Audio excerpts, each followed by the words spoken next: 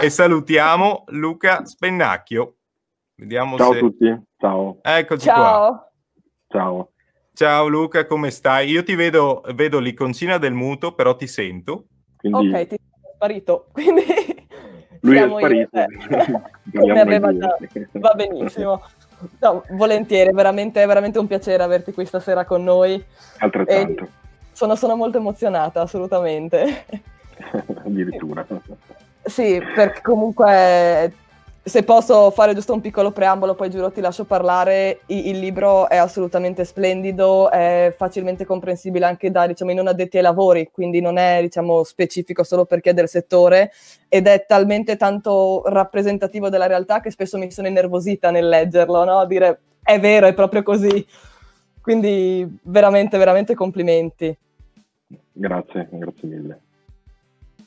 Ringrazio tutti voi di essere qui e ringrazio i ragazzi di avermi invitato a questa, a questa chiacchierata su, su, Canile 3.0 e sul progetto in realtà eh, di Canile 3.0, progetto che naturalmente adesso è fermo, come, come un po' tutto il resto. Eh, progetto che eh, innanzitutto vorrei partire eh, con, con, lo spiegare perché si chiama, perché è il titolo, perché è Canile 3.0. Eh, allora, Canile 3.0 perché ho chiamato questo libro che naturalmente non sto svelando nulla di che parla di canile, ehm, perché a mio avviso eh, noi si, ci troviamo ehm, nella terza fase, in una terza fase di sviluppo, o quantomeno quando ho scritto il libro ci trovavamo nella terza fase di sviluppo eh, del canile. Allora, innanzitutto il libro è uscito nel 2016, però io ci ho messo quasi cinque anni per scriverlo. Eh, perché ci ho messo cinque anni per scriverlo? Perché non perché ci volessero cinque anni per scriverlo, ma numero uno perché non faccio lo scrittore di professione, di conseguenza l'organizzazione per la stesura di un libro abbastanza lungo è un qualcosa che uno deve apprendere facendolo. Però c'è un altro motivo per cui ho impiegato così tanto tempo a scrivere il libro. Io credo che noi siamo in un momento storico molto complesso per il canile ehm, e ho sempre temuto che eh, si ritornasse a prendere soluzioni molto più drastiche per affrontare la questione del randagismo. Il titolo Canile 3.0 dipende proprio dal fatto che siamo appunto in questa, a mio avviso, in questa terza fase, o dovremmo essere in questa terza mm. fase. Quindi canile 1.0, eh, la prima fase, quando nasce il canile, quindi negli anni 50, eh, per un presidio medico-sanitario, eh, per lo scopo, l'obiettivo del, del canile, è tornato, Ehm, Ci sono.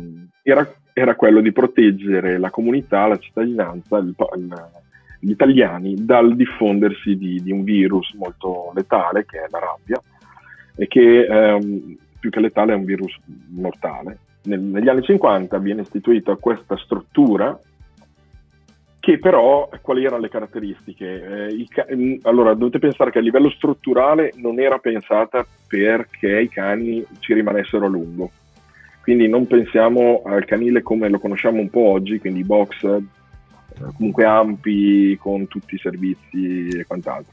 Erano più che altro del, alle volte degli stabulari, proprio delle, delle gabbie, perché i cani venivano soppressi entro pochi giorni. Naturalmente intorno agli anni 70-80 il virus della, della rabbia viene contenuto, nel senso che la rabbia esiste ancora, non esiste più sul nostro territorio nazionale, però questo significa che bisogna mantenere alta l'allerta perché ci sono specie animali anche sui nostri confini e, e come abbiamo ben visto in questo periodo i virus eh, se ne fregano dei confini nazionali. Sta di fatto che la, scompare la rabbia, la sensibilità, diciamo una maggior sensibilità mh, sul mondo animalista eh, comincia ad arrivare dal nord Europa e dal, dagli Stati Uniti verso la metà degli anni 70-80 quindi cominciano a nascere ehm, sull'onda di grandi associazioni come per esempio l'EMPA, sono, cominciano a nascere piccoli assembramenti di persone che si eh, costituiscono come associazione. Naturalmente dovete pensare che per tutti gli anni 70, 80 eh, fino, agli, fino, al 91 le associazioni non godevano né di eh, benefici dallo Stato né di aiuti di alcun tipo, erano persone che si autofinanziavano per, magari avevano costruito un piccolo rifugio o cercavano di dare una mano ai cani per evitargli l'eutanasia. E qui inizia la mia storia in realtà, perché io sono nato nel 71, nell'84, quindi avevo 13 anni, comincio a collaborare con un canile. Naturalmente la mia storia inizia perché fu un cane a portarmi, a portarmi a conoscere questa realtà che per me non, non esisteva, di un piccolissimo canile nella bassa bergamasca dove, dove, ho, dove vivo tuttora. Insomma. Arriviamo a così al, a quello che ho definito canile 2.0, ovvero nel 91, 1991, cosa succede? Eh, esce questa legge quadro nazionale, la legge 28191, appunto, che è una legge importante che un po' tutti quelli che si occupano di canile dovrebbero conoscere perché quantomeno è mh, mm, la prima volta che a livello statale si parla di benessere animale, si parla di rispetto della vita, eccetera, eccetera, e vengono stabilite delle norme e viene abolita l'eutanasia come strumento di contenimento del randagismo. Ecco, l'obiettivo del mh, canile 2.0, però, attenzione, era proprio la lotta al randagismo. Cioè, cosa succede? Negli anni 90 si percepisce questa problematica. Ehm, ci sono troppi cani in giro che danno fastidio, adesso mettiamola, la metto semplicemente così. Ehm, e, eh, però, abolendo l'eutanasia, che cosa succede? Il governo fondamentalmente demanda a dei privati cittadini, perché poi in realtà le associazioni animaliste sono privati cittadini, eh, la gestione di questo problema, ovvero vengono stanziati dei fondi per il mantenimento dei cani e per la ristrutturazione delle, delle strutture che prima, come vi ho detto, erano atte a ospitare cani per un periodo brevissimo. Adesso invece viene richiesta una certa metratura, delle, certe, delle prassi operative, eccetera. E per mantenere tutti questi cani vengono stanziati dei fondi. Questo fa di noi, già 30 anni fa, eh, uno forse, forse 30 anni fa, l'unico paese al mondo che non eh, utilizzava l'eutanasia per, ehm, per, il contenimento del fenomeno randagismo.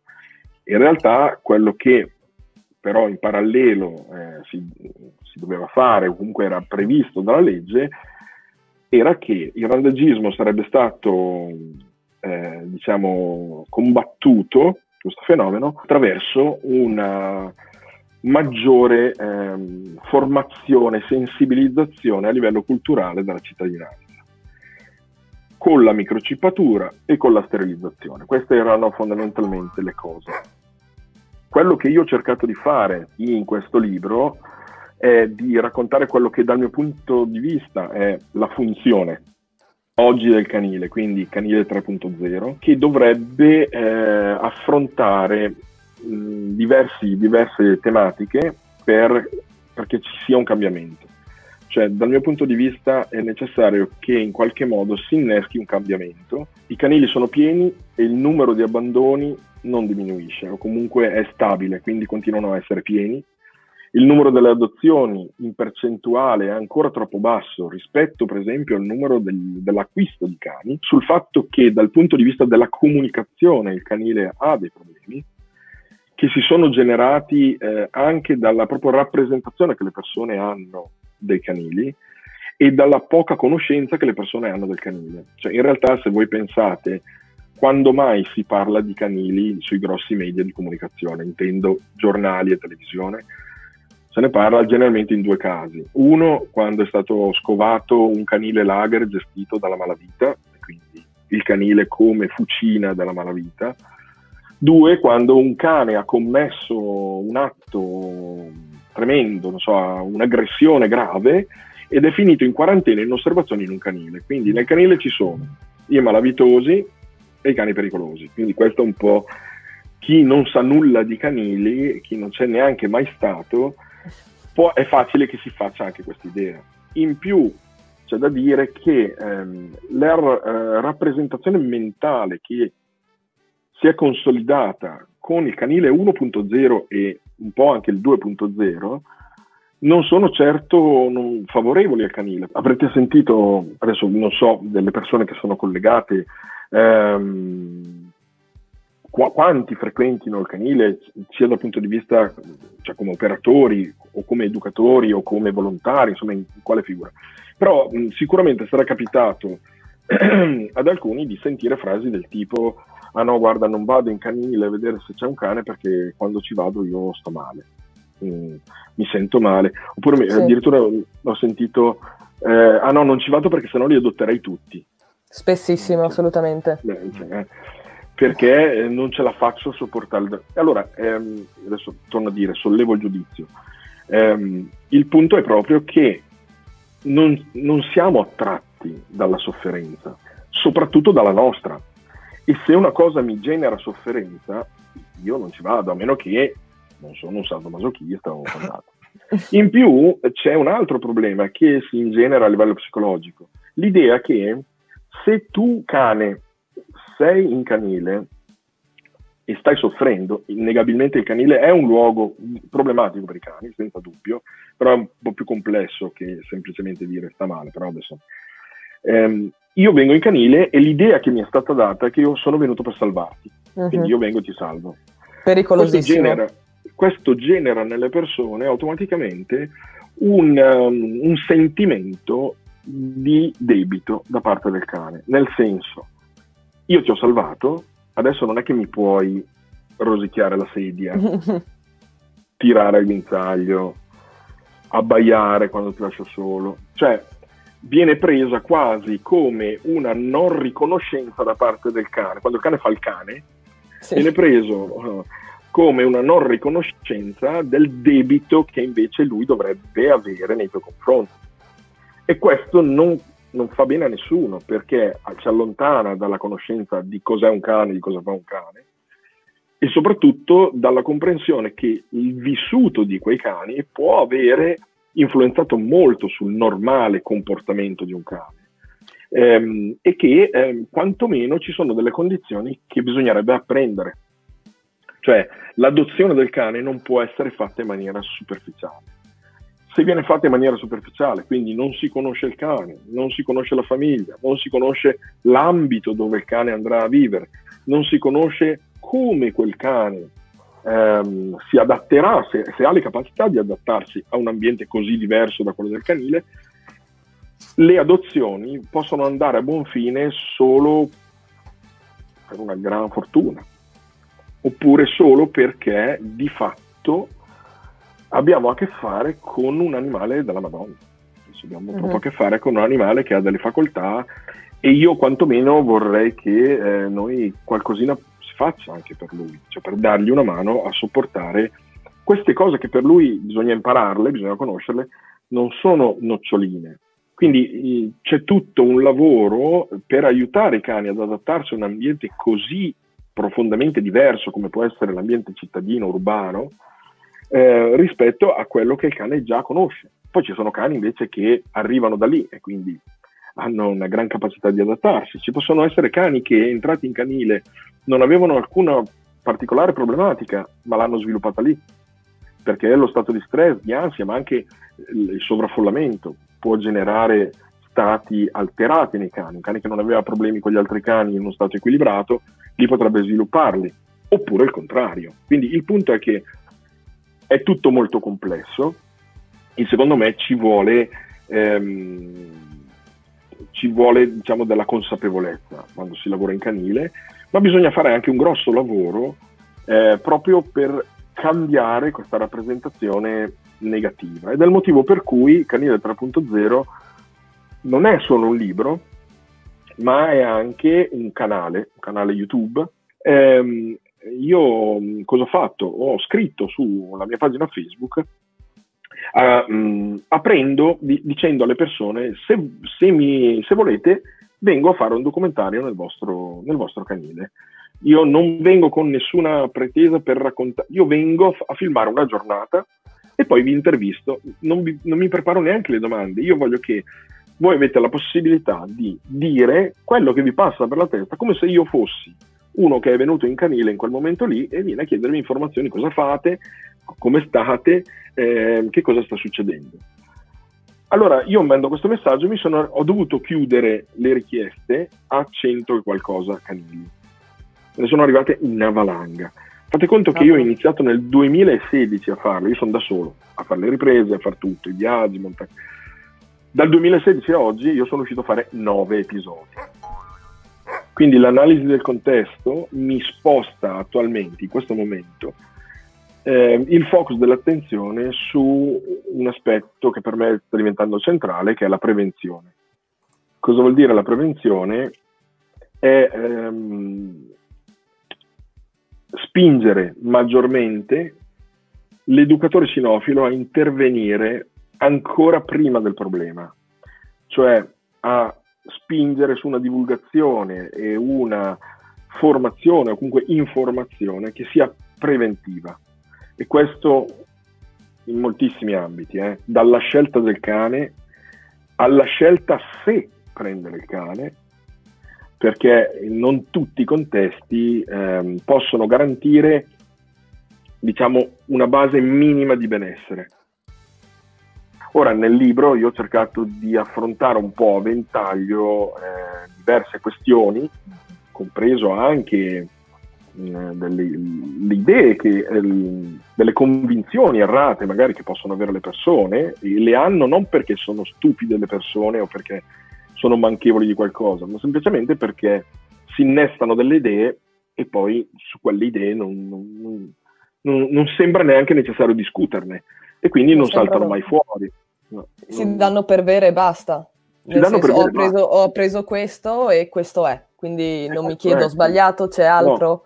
Anche appunto quello dicevo all'inizio, dicevo soprattutto leggendo queste parti che ovviamente ho, ho ritrovato spesso nelle persone e diciamo l'unico che sentimento che riuscivo a provare era proprio nervosismo, perché hai ragione, nel senso quello appunto che hai descritto è la realtà, è così e mm, ci tengo scusami anche a precisare che nel libro non si sente ovviamente nessun tipo di giudizio, c'è proprio una, una rappresentazione, quindi non, sì, no, non c'è appunto giudizio verso queste persone e visto appunto che l'hai precisato ci tenevo a precisare che anche nel libro non c'è, nel senso non, non ti stai no, ergendo no. a paladino della verità insomma. Anche perché e... poi penso che sì. a pochi interessi il mio giudizio, a me interessava di più ehm, fotografare una situazione sì. capire anche perché certe cose avvengono, senza colpevolizzare uno piuttosto che l'altro, ma ci sono delle convinzioni, io stesso nell'arco del tempo, eh, convinzioni che avevo e non sapevo neanche di avere, perché sì. fino a che tu non ti poni delle domande, tu non sai che quell'argomento potrebbe essere messo sotto critica, non lo sai, hai questa idea. Eh, però quando ti trovi di fronte a realtà diverse, se non sei abituato ad avere una prospettiva anche differente, tu, tu rifiuti. E quindi, nonostante uno ti possa dimostrare davanti ai tuoi occhi che la realtà è diversa da quella che tu pensi, tu non, ti ostini a non vederla. Assolutamente. Non...